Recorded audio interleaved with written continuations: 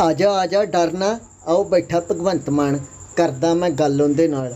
ਆ ਮਾਨ ਸਾਹਿਬ, ਇੱਕ ਪੈਨਸ਼ਨ ਵਾਲਾ ਕਾਨੂੰਨ ਪਾਸ ਕਰਕੇ ਤੁਸੀਂ ਤਾਂ ਨਵਾਂ ਹੀ ਸੱਪ ਕੱਢ ਮਾਰਿਆ, ਸਹੀ ਗੱਲ ਆ। ਤੁਹਾਨੂੰ ਪਤਾ ਇੱਕ ਪੈਨਸ਼ਨ ਨਾਲ ਕਿੱਥੇ ਸਰਦਾ ਅੱਜ ਕੱਲ ਨਹੀਂ, ਇੱਕ ਆਮ ਬੰਦਾ 10000 ਚ ਆਪਦਾ ਘਰ ਚਲਾ ਲੈਂਦਾ ਹੈ।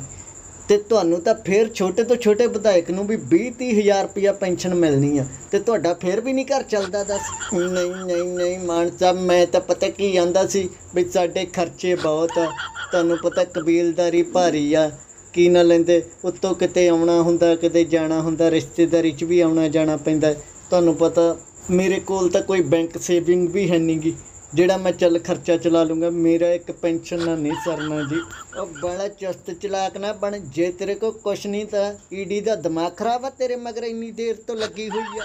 ਨਾਲੇ ਕੈਪਟਨ ਸਾਹਿਬ ਗੱਲ ਸੁਣੋ ਤੁਸੀਂ ਇਹਦੇ ਨਾਲ ਕਿੱਧਰ ਤੁਰੇ ਫਿਰਦੇ ਆ? ਦੱਸ ਰਾਜੇ ਬੰਦੇ ਆ ਤੁਸੀਂ ਸਾਰੀ ਜ਼ਿੰਦਗੀ ਤੁਸੀਂ ਰਾਜ ਭਾਗ ਕੀਤਾ ਤੁਹਾਨੂੰ ਪੈਨਸ਼ਨ ਦੀ ਕੀ ਜ਼ਰੂਰਤ ਹੈ ਦੱਸ? ਤੁਹਾਡਾ ਕਿਤੇ ਘਰ-ਬਾਰ ਪੈਨਸ਼ਨਾਂ ਨਾ ਚੱਲਦਾ ਦੱਸ? ਤੁਹਾਡਾ ਇੱਕ ਪੈਨਸ਼ਨ ਨਾਲ ਸਰਦਾ ਨਹੀਂਗਾ ਨਹੀਂ ਨਹੀਂ ਨਹੀਂ ਨਹੀਂ ਮਾਨ ਸਾਹਿਬ ਕੀ ਦੱਸਾਂ? ਮੈਂ ਤਾਂ ਦੋਵਾਂ ਦੇ ਚੱਕਰਾਂ 'ਚ ਫਸਿਆ ਪਿਆ ਏ।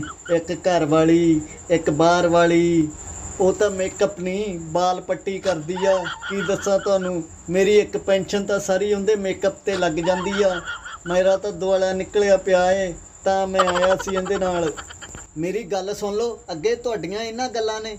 ਸਰਕਾਰ ਦਾ ਖਜ਼ਾਨਾ ਖਾਲੀ ਰੱਖਿਆ।